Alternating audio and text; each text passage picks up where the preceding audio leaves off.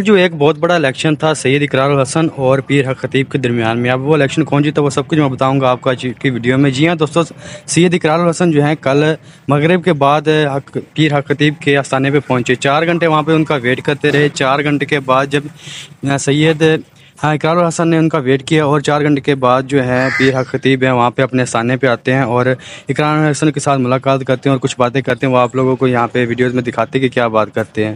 देखिए, बात ये है करामत किसको कहते हैं? जी। करामत उस चीज़ को कहते हैं जो समझ से बाहर हो। हाँ जी। ये दोस्तों आप लोगों ने देखा वीडियो में कि पीर खतीब ने सैयद इकरार हसन के साथ क्या बातें चीतें की और बातचीत करके वह वहाँ से जो है वहाँ चले गए। उसके बाद जो है पीर खतीब के जो चेले हैं उन्होंने इकरार हसन की टीम के साथ जो है काफ़ी बदतमीज़ी की उनके मोबाइल और कैमरे वगैरह भी छीन लिए और काफ़ी उनके ऊपर तशद किया। और इकरार हसन की खुशकस्मती की थी कि वहाँ पर पुलिस आ गई और पुलिस वालों ने जो है वहाँ से उनको सेहतमंद तरीके से वहाँ से निकाल लिया।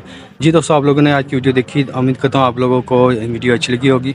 जो लोग पीर खतीब के फैंस हैं और जो लोग सैद इकरार हसन के फैंस हैं, नीचे कमेंट सेक्शन में अपनी राय जो है बता सकते हैं कि पीर खतीब ने ये बातें सही की हैं या गलत की हैं।